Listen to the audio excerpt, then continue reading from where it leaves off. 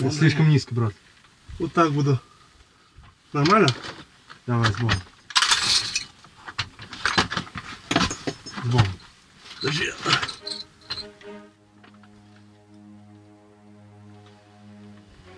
Я не вижу цели. Я вижу. Ага.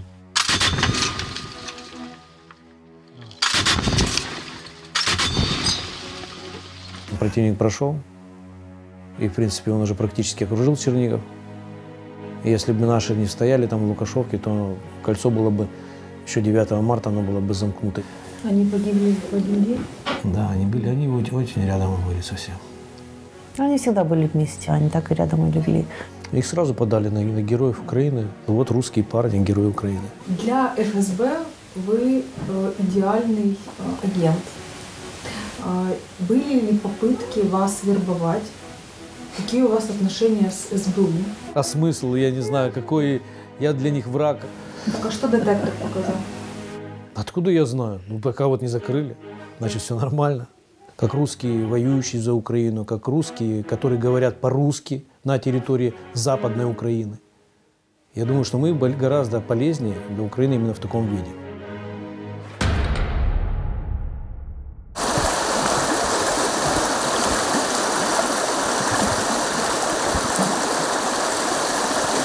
Это всегда так? Это я практически всегда так вижу. Да. Едем почему?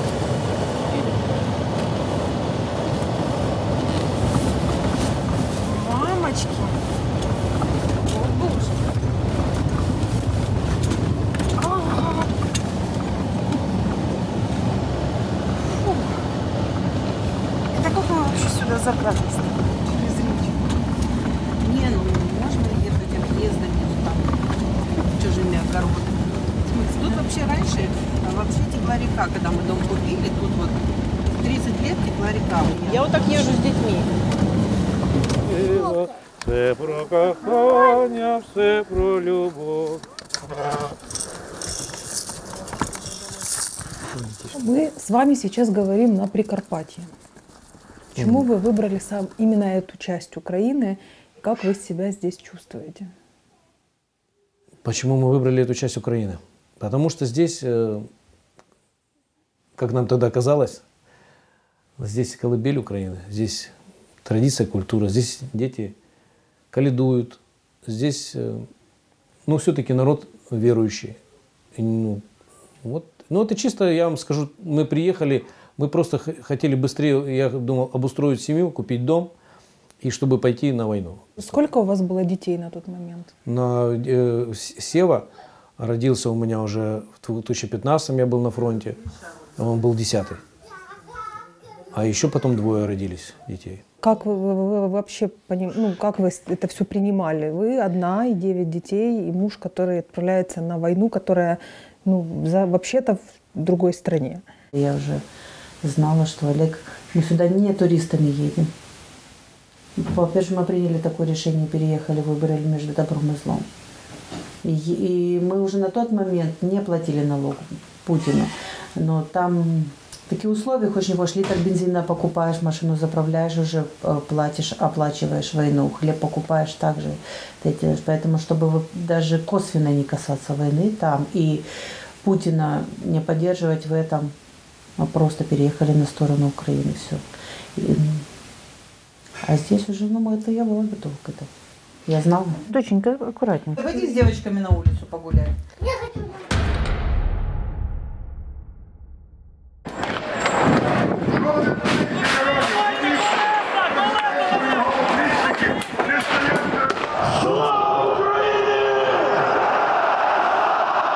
Изначально э, мы в 2013 году, как многие русские, очень многие, подавляющее большинство, приняли Майдан как свой, что, дескать, началось в Киеве, у нас закончится. Майдан, там где больше, чем 10 тысяч километров от того места, где вы жили. Почему вы вообще восприняли это событие как э, что-то ну, влияющее на вас? Ну, понимание, понимание того, что у нас э, э, режим в Москве незаконный, и любые способы борьбы с этим режимом приемлемы. С режимом у нас были отношения очень сложные. И с 2008 года я был в федеральном розыске там. Ну, вот так вот э, боролись как могли. Не все можно рассказывать на камеру, но какой-то минимум делали. Русский человек, чтобы, чтобы вы вообще понимали, что он э, не является э, на, территории РФ э, хозяином. Он является просто рабом. То бишь там командуют все, кому не лень, кроме русских. И, естественно, это никого никогда не устраивало. Просто некоторые делают вид, некоторые как-то совесть свою уговаривают и как-то пытаются выжить. Но мы не из таких. Вы сразу э, добровольцем отправились на войну. Ну, я в Пока мы приехали, пока мы обустроились, пока мы сделали ремонт там. И в октябре месяце, в 14 октября, э, я вступил уже в правый сектор. Ну и потом по очереди мы выдвинулись уже туда на... Сначала на полигон, и из полигона уже конец сечня уже мы выдвинулись на Донбасс. И Как вас там воспринимали? Да ну, господи помилуй, никаких проблем нет. Это все, все друзья, и все такие Ничего, люди всё. интересные. А какой у вас позывной был? А позывной у меня был самый красивый. Фашист. Да. Дети, это когда мы отходили там, ну, п- напакостили э, этот, э, я уже прикрывал отход, а эти кричали там фашисты, фашисты, там, так- я уже тогда стал фашистом, и уже все нормально. И сколько вы э, были на войне? Ну, Да. 15 рік. До апреля месяца, пока сегодня не родился Олег, уже так в отпуск приехал на недельку. Ваши сыновья выбрали профессию военных. Они закончили военные учреждения. Давайте я, мы вообще будем говорить о сыновьях. А то мы отвлеклись уже совершенно. Ой-ой, при долинушке, ой-ой, при долинушке, да при долинушке калинушка растет, при долинушке калинушка растет. Понимаете, вот я, я пошел в 15 году на, ну, э, а, а Ромка, э, он, получается, и он еще учился в школе, но уже собрал рюкзак, чтобы ехать в Азов, потому что я его ни в какую не хотел брать, ему было тогда, в 15 году, э, 17 лет. И мы его уговорили, чтобы он, за- он э, приехавший из РФ, э, он за, за полгода сдал э, сразу 10-11 класс. 10-11 класс сдал. И поступил в академию. В Академию сухопутных войск. Когда ему вот исполнилось 18 лет. Он пос- по- и Рома это был ну, военный до мозга костей. Вот Леня тоже в 15 году поступил в военный лицей. Леня был на 4 года младше Четыре года они научались на, на Двернянском лицее военно-спортивном. Ему очень нравилось. Ну, для них Душа компании. душа компании.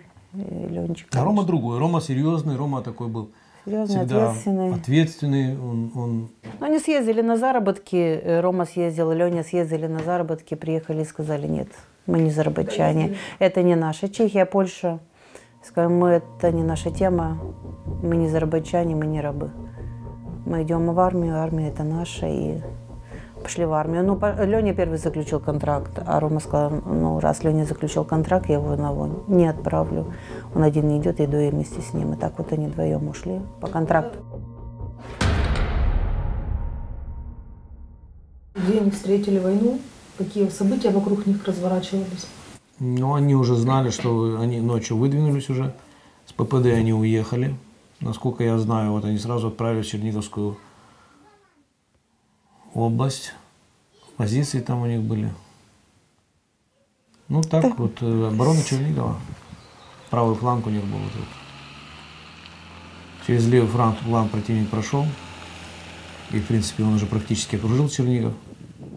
И Если бы наши не стояли там в Лукашовке, то кольцо было бы еще 9 марта, оно было бы замкнуто. Ну, Рома с Леней ну, приняли бой и сражались. Они, в принципе, как один там говорил, что они, в принципе, этот бой сделали. Да, слишком низко, брат. Вот так буду. Нормально? Давай, с Богом. С. Подожди.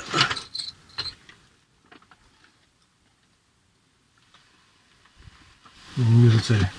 Я вижу. Огонь.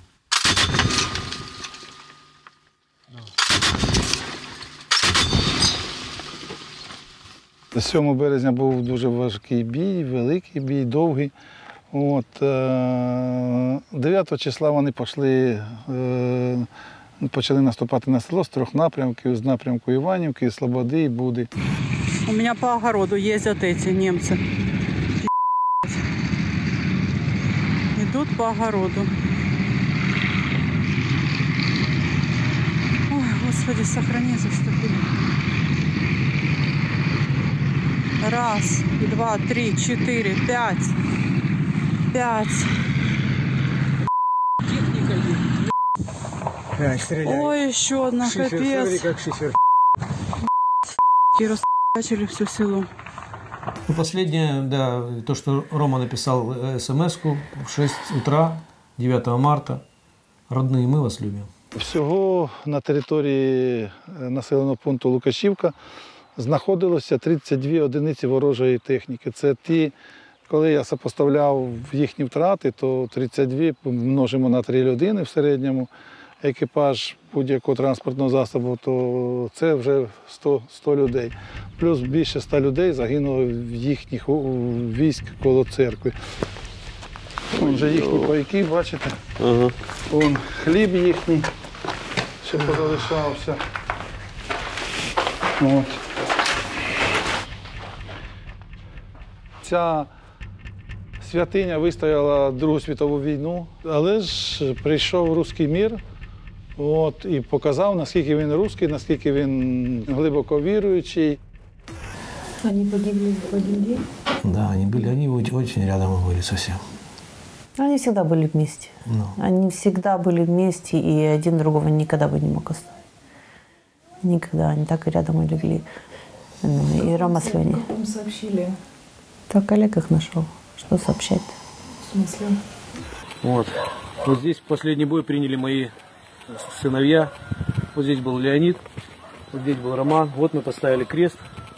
9 числа утром э, мы как раз, я был, мы тоже были на Черниговщине, но в другом этом, в другом районе.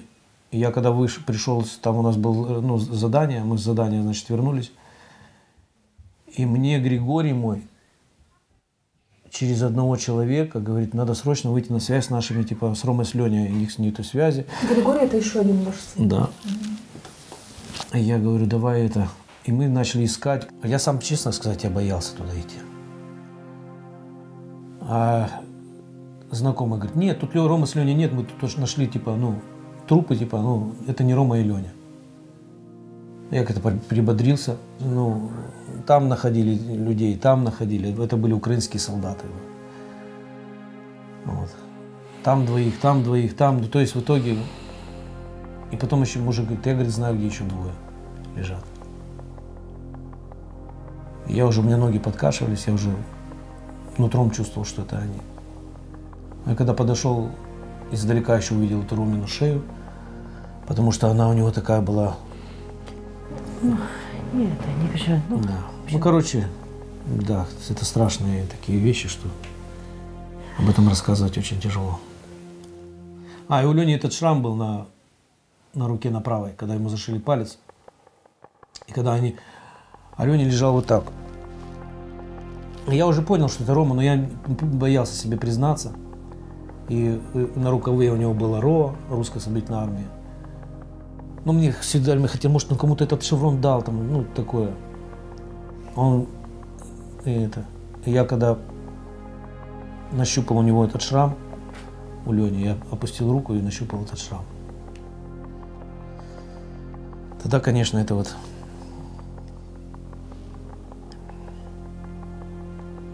такая была страшная трагедия.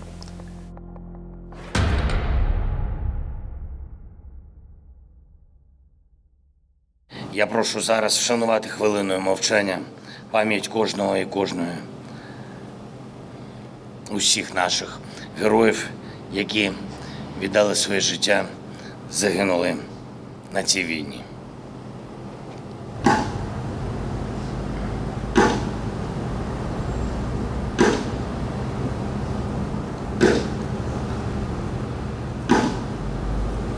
Бутусины, более 10 человек в стрелковом бою такую уничтожили. Ну, то есть оп- описание следствия было. А потом еще добавляется, добавляется, и все время добавляются такие вот, ну, как бы моменты. Вот, допустим, какой был последний звонок их по телефону? Вы не знаете? Они позвонили фермеру местному, который кормил э, ЗСУшников. Дядя Гриша, текайте, мы села не удержим. Вот что они, то есть они не позвонили своим подругам, не позвонили нам. Они позаботились о том, чтобы дядя Гриша со своей семьей сбежал. Успел сбежать, пока село не окружили. Сили були досить нерівні, але наші хлопці, які боронили наш населений пункт, це дійсно герої, це дійсно люди, які жертвуючи своїм життям, захищали нас, захищали нашу батьківщину. Их сразу подали на, на героев Украины. Благодаря им спасли жизни тысячи Чернигов. Чернигов не стал на Старом Мариуполе. Ну, я, я думаю, что хлопцы это знали. Потому что от них зависит э, судьба и жизнь многих людей. И поэтому они такую любовь до ближнего, именно такую заповедь Бога они исполнили до конца. Для вас э, этот статус, насколько он вообще был важен, и насколько вы чувствуете, э, что в сознании людей, которые вас окружают, что ваши сыновья действительно герои Украины. Вы это чувствуете? Это важно для будущей победы, потому чтобы а, тем нашим недоброжелателям, скажем, с той стороны, показать, что вот русские парни, герои Украины. Мы относимся к русской православной церкви за границей. Это была РПЦЗ, то есть когда был исход русский, русских людей после гражданской войны, часть духовенства э, переселилась за, границу, и там они организовали церковь зарубежную. И ну, вот так был у нас епископ, приезжал к нам, у нас причащал. К сожалению, сейчас мы остались в таком сиротском состоянии, потому что к нам никто не приезжает. Вы глубоко верующие люди. Первая заповедь – не убий. Но война сама по своей сути – это убийство. Как вы себе это, как вы вот уживаетесь с этой заповедью? Если человек закостенел во зле, чтобы не утягчить его вину, с помощью спускового крючка и, и пули мы его лишаем дальнейшего возможности грешить. Ну, так, если грубо говоря. Конечно, это не жестко, но это так. И добро должно быть с кулаками. Всегда. Да. Как вы относитесь к выражению «хороший русский»? Да я не знаю. Честно, такие вот и все современные вот эти высказывания, ну, настолько топорные. То есть это не оскорбительно, нет, как бы для вас, или такое что-то не очень? Не знаю, мои друзья так не говорят. А есть еще такое выражение, что да. хороший русский заканчивается на вопросе Крыма. Вот, да, на вопросе чей, чей Крым. Вы мне Крым. такой тоже хотели вопрос задать. Если... Вот сегодня Крым путинский. Ну, однозначно он путинский. Но вообще в составе Украины он мог быть русским. Но он не русский, он точно. Крым. На сегодняшний день он не русский. Для ФСБ вы э, идеальный э, агент. Э, были ли попытки вас вербовать? Какие у вас отношения с СБУ? Вы знаете, для них я, враг. Я, уже, я уже такой, Первый. Я уже такой, когда меня проверяли на этом, на, на детекторе лжи, такие мне вопросы задавали. А вас проверяли на детекторе? Дважды. А смысл, я не знаю, какой... Я для них враг, как они меня завербуют? Ну, я же идейный враг. Что они с меня возьмут? Так а что детектор показал? Откуда я знаю? Ну, пока вот не закрыли, значит, все нормально. Да, некоторые местные, кстати, да, говорят о том, что вы там Агенты Кремля? Да, агенты, да, агенты Кремля. Ну, как-то бедновато для агентов живем. Вы давно живете здесь, прекрасно уже понимаете украинский язык, у вас полно друзей, побратимов, ваши дети учатся в украинских школах. Вы говорите на русском. Э, это какая-то ваша позиция или это вот там сложность изучения? Э, тут, ну, объясните, пожалуйста, вот этот вопрос. Я думаю, что для Украины мы более полезны именно как русские. Вот именно мы, как наша семья, как мы, как, как русские, погибшие за Украину, как русские, воюющие за Украину, как русские, которые говорят по-русски на территории Западной Украины. Я думаю, что мы гораздо полезнее для Украины именно в таком виде. То есть мы как бы идем в пику э, путинским этим всяким нарративам и прочему.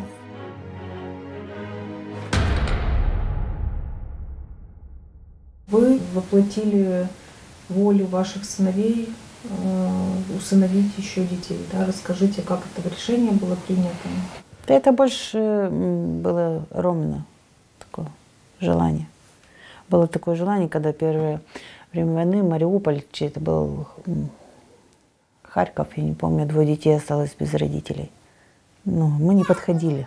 Мы не подходили, потому почему она такая, что у нас своих детей уже несовершеннолетних было семеро, ну там, короче, по документам не вышло. И нам предложили только сделать вот приемную семью.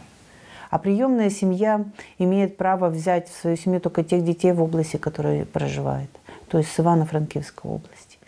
А с тех территорий, если мы только усыновляли или удочеряли, но а так как у нас война, громадяне іншої держави не имеют на это права.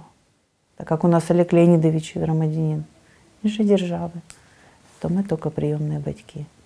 Ну так. Так нам пришли эти дети с Ивано-Франкивской области. Ромчик и Вероника это брат с сестрой. Вот. Они к нам пришли. Как так получается, что вы уже столько лет живете в Украине, что вы э, доброволец, ваши сыновья герои Украины, а у вас до сих пор нету гражданства? Да я спокойно отношусь к этому. Это сначала, конечно, мне оно вообще очень неудобно, конечно. Тут типа как третьесортные эти. Но вообще, во-первых, добровольцам никому не давали. Короче, это такая бюрократия, это та же самая бюрократия, что и с той стороны. То можно чемодан открыть, у нас ну, там целый чемодан. Да, он- Олег мне предлагал «Да на растопку, да, нет, нет, я все собираю. У меня же целый чемодан, пусть будет для истории. Ну, вы не пожалели о своем решении, что вы в 2015 году приехали сюда и выбрали? Ну, это очень, конечно, если после сказать даже ну, правду, я же даже год назад так не жалел, как я, допустим, сейчас жалею. Ну, вот, слава богу за все. Но ко- когда украинское суспільство поймет, что мы союзники, и самые э, в борьбе с Путиным, мы самые ближайшие союзники. Но вы остаетесь здесь. То есть все равно есть причины. Ну, теперь у нас самая главная причина это, это наши Рома с Леней похороненные в Калуше на кладбище. Самая главная причина, по которой мы не можем просто собраться и уехать. Если мы отсюда уедем, как, э, как э, наши враги про нас говорили, русские любят хлопать дверью, да, такое есть.